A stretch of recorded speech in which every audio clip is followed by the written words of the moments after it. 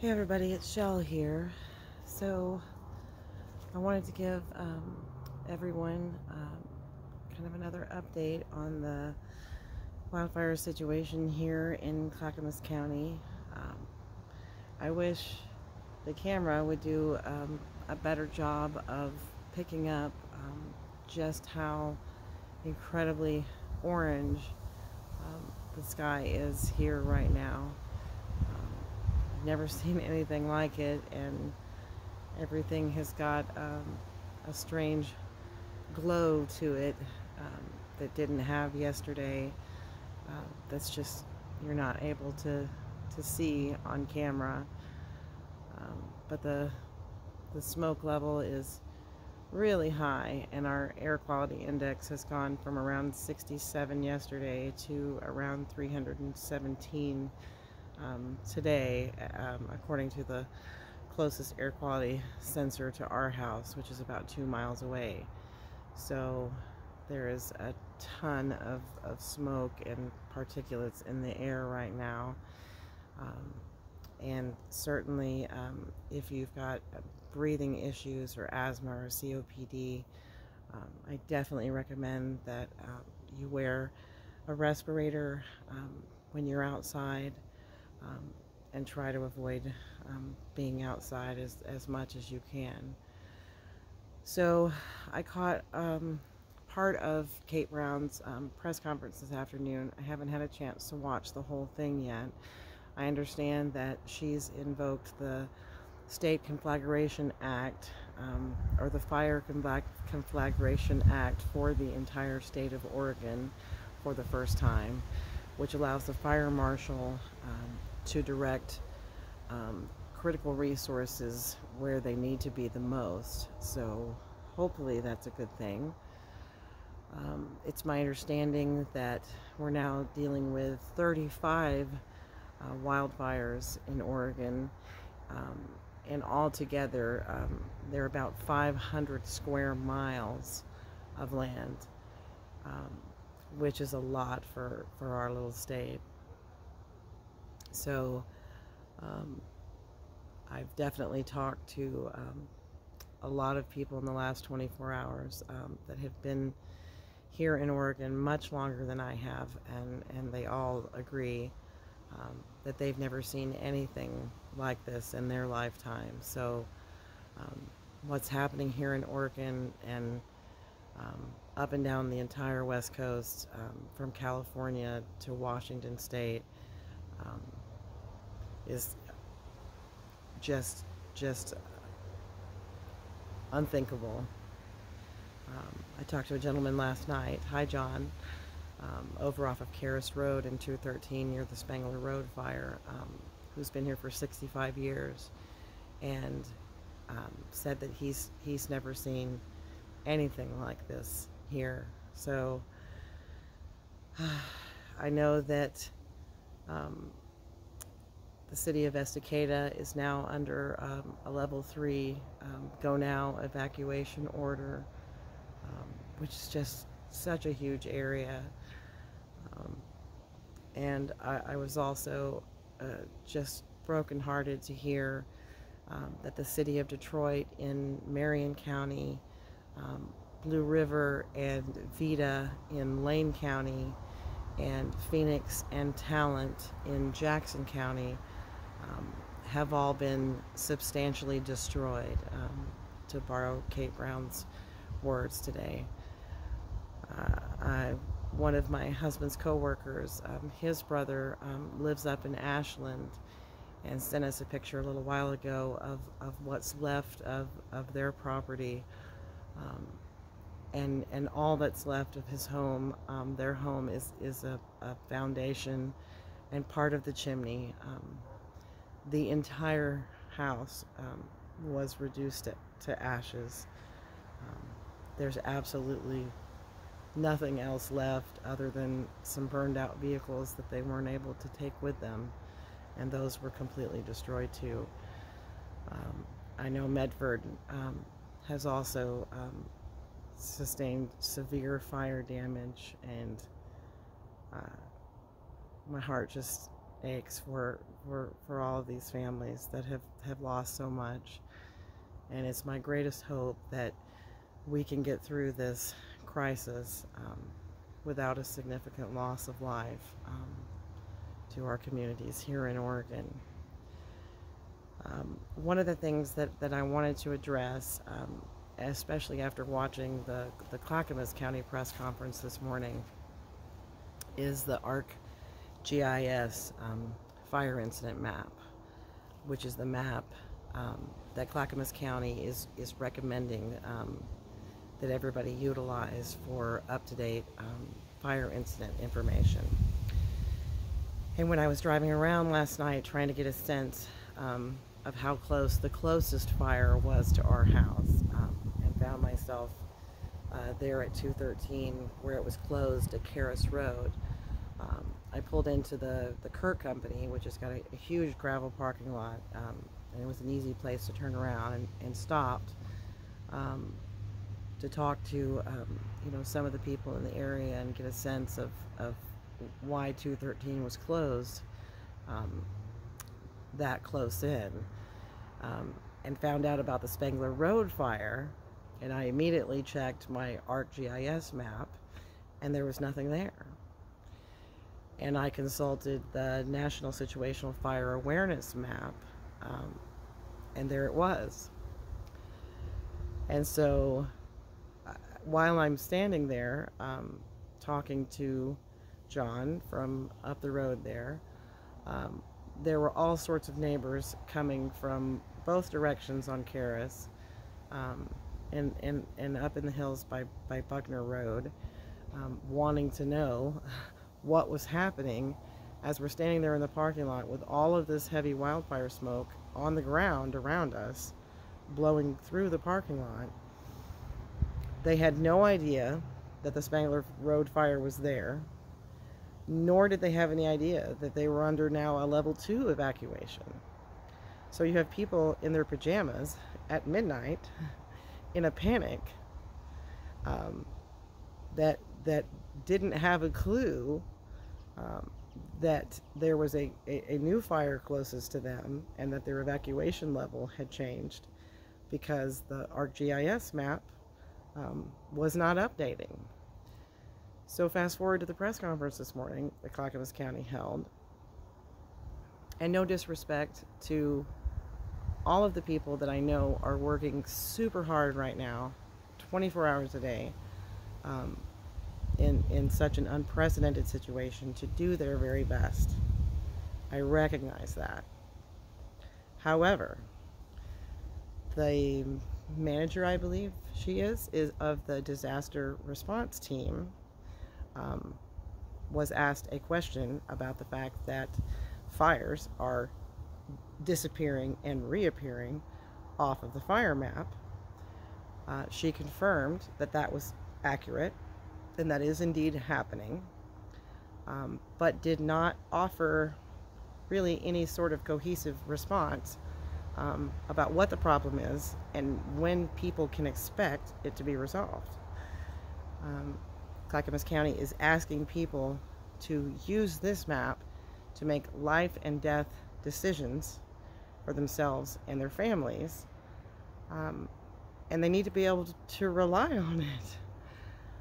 So uh, the other problem um, that I noticed that came up during one of the questions um, um, during the press conference um, is the fact that the fire map is not clearly delineating um, the boundaries of these fires, which is also a, a, really critical piece of information to have. I realize that these fires are a, a rapidly evolving situation, but having um, a general idea um, on where they stop and start, um, where where the boundary lines are, um, is critical information for people to have. Uh, but certainly, being able to rely on the fact that the most up-to-date um, information about all of the fires and, and where they're located um, is is is just absolutely 100% important and, and cannot be overstated enough. So, what our family is doing now, um, until they address this issue, is that we are utilizing um, other fire incident map resources, both from the state of Oregon and nationally, that update in real time so that we can cross reference the ArcGIS map um, with other fire incident map resources so that we know that we're getting the most up-to-date um, information and um, and that we can rely um, on on the information that we're getting once we've confirmed it from multiple sources. So I will include a few links um, in the description to this video. If you know of any other uh, really great map resources, um, either local or national, um, that you've found, um, please feel free to leave me a comment or um, hit me up on Twitter at PurpleGimp, P-U-R-P-L-E-G-I-M-P. That's me. Um, I'm looking for um, reliable, uh, real-time, up-to-date um, fire incident map information. Um, and and if you send me another one that I don't have, that's that's really great, then I'll be sure and, and come back later here and add it to this video description. So they're still accepting um, uh, families evacuating at um, the Clackamas Community College here up the road. Um, and they're also, as far as I know, still accepting large animals, um, livestock at the Clackamas County Fairgrounds. I've also been told that there um, is a couple of new evacuation centers opening, and so I'll be sure and include um, that information as soon as I verify it um, in the video description as well. Uh, thankfully, it's my understanding that today, tonight, um, will be the last of the um, high winds and and hot air meeting cold front um, weather that has really whipped these fires um, into the, the current frenzy that they're in right now. Um, tomorrow is supposed to bring in um, calmer winds um, and cooler temperatures. So, uh, you know, we're all really crossing our fingers and toes that that's going to give um, the firefighters from around the state um, that are that are fighting these fires the, the edge that they need to really get them under control. But that also means um, that tonight is probably going to be another night um, with a, rapidly evolving um, fire situations, depending on especially what the wind does. Um, it's really calm right now. Um, it was a lot, um, a lot heavier a few hours ago. So I'm hoping that it stays like this. but just be prepared. Um, and that's why it's it's so critical um, for you to to really cross-check your fire incident map resources, um, especially uh, if you're if you're close to um, the four major fires um, here in Clackamas County out of the 12 um, that are really presenting um, a critical threat to to to people and property. So you know, I've said it before, um, but please, if you reach a level two evacuation, um, I would just go. Um, don't wait until it's level three.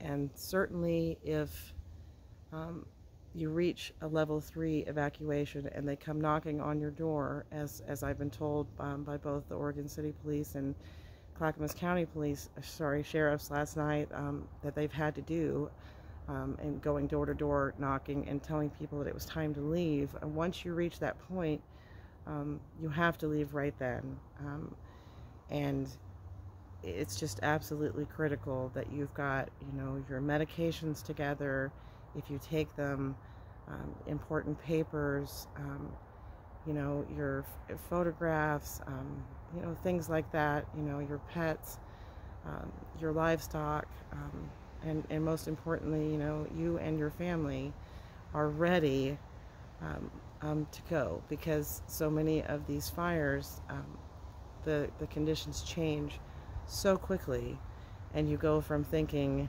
um, that you've got plenty of time um, to having to having no time left at all.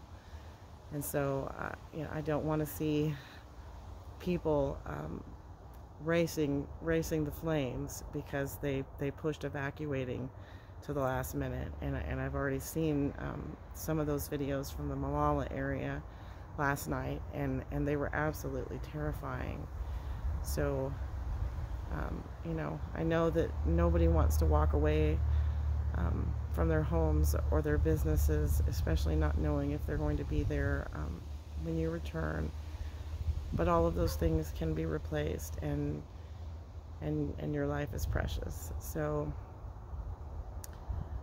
in closing, um, I would just ask if um, if you can, if you've got neighbors that are elderly or mobility challenged um, or disabled, chronically ill, um, please consider, you know, knocking on their door, um, just checking in with them and making sure that they're okay, um, especially if you're preparing to evacuate, um, you know, making sure that that they also have a way to evacuate um, and there's there's resources that you can call um, locally here in Clackamas County if you need assistance evacuating and I'll, I'll include that information in my video description as well.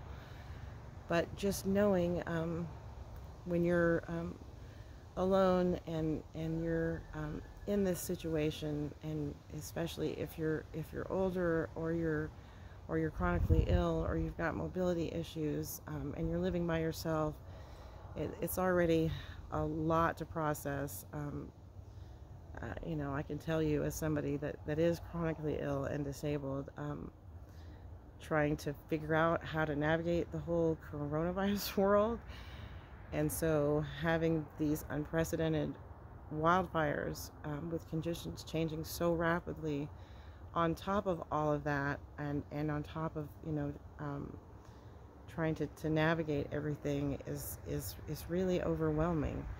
And especially for those that don't have um, a great support system, just knowing that, um, that your neighbors are checking in on you and making sure that you're okay and making sure that you're aware of, of the current fire danger situation closest to you um, can mean everything. So I know that um, our state is is full of, of, of kind and, and loving and generous people.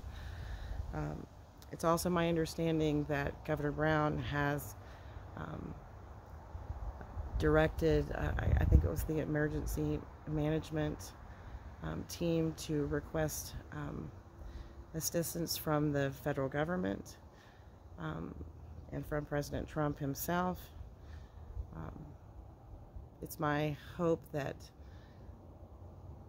Trump will um, put aside politics for now and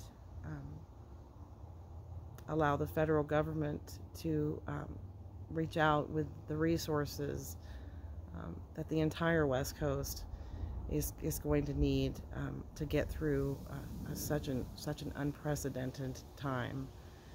So um, I really hope that that, that can happen sooner um, rather than later um, because um, we're really going to all need federal resources in addition to state resources um, to get to get through this this this time and especially for those communities um, that have essentially been completely destroyed by these fires you know it's going to take um, all hands on deck to make things better for these for these towns um, and for the families and the people that live in them. So I hope uh, I hope we can find a way to, to all all work together um, and support each other. Um, I know that this is a a difficult time, a, a difficult year for our country. And at least for me, um, situations like this really drive home the point that we may have so many differences between us, um, but we're all um, essentially connected and, and the same um, when it comes to the things that, that matter to us. I mean, we all we all want our families to be safe. Um, we all want somewhere safe to to lay our heads and and finding a way to put aside our differences um, here on the West Coast and embrace our neighbors and really support each other, whether or not we're on the, the same party line or not, I think is, is, is so important. And so I wish everyone the absolute best, um, no matter who you plan to vote for. We're, we're all in this together. We're all human. Um, and we all need each other right now. So that's my 1.9 cents. Um, please stay safe and look out for each other. And um, hopefully, this will all be over soon. Take care. Bye now.